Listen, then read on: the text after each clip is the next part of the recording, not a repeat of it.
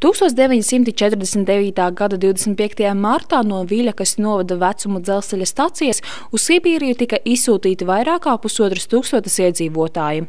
Šodien par šaušalīgajiem vēstures notikumiem liecina vien piemiņas zīme, noliktie ziedi un aizdegtās svecītes.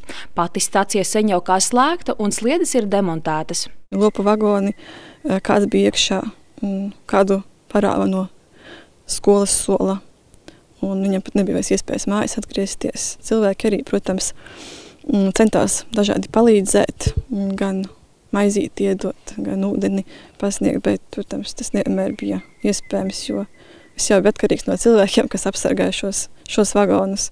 Lielākā daļa izsūtīto bija nacionālisma piekritēji, kā arī daudzu Viļakas mežos mītošo nacionālu partizāņu atbalstītāju un tuvinieki. 2. martā notika ļoti liela cīņa nacionālajiem partizāniem ar če, čekas, čekas darbiniekiem, kur kā rezultātā vienība, kas, Nacionāla partizānu vienība, kas bija ap 300 cilvēki, tika izslīdināta pa, pa Latvijas mežiem, pa Latgales mežiem un um, turpināja savu cīņu.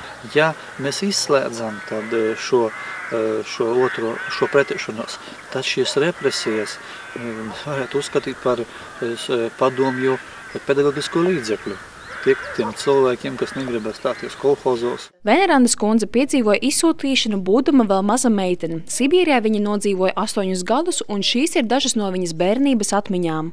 Tīti mīļiči, mums им неотля никого нет. Вы на смерть уезжаете.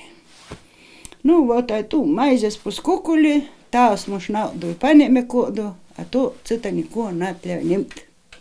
Driebu bija daudzi, deči divi man bija apteiktais i hodu iz Rakovu. Ot Rakova nuvede, stāvēja zirgi, daudzi i grūzēja mašīnē. Ot tādus mūsus atprovēja na poest.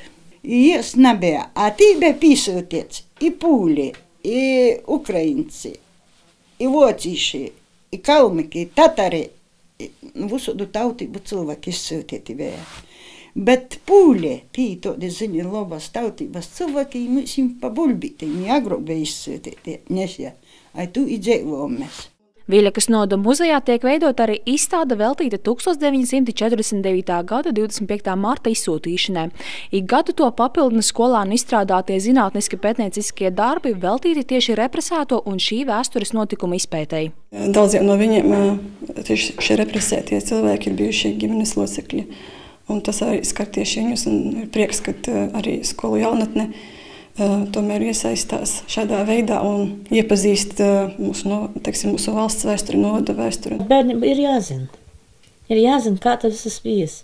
Mainās viss, kas uz labo, bet piemiņā tomēr vajadzīga. Jo mhm. piemiņā, cilvēks ar piemiņu dzīvo. Kā izsakās Vīļakas noda domas priekšādātājs, pārzinot un cienot Latvijas vēsturi, mēs spēsim novērtēt savas valsts brīvību.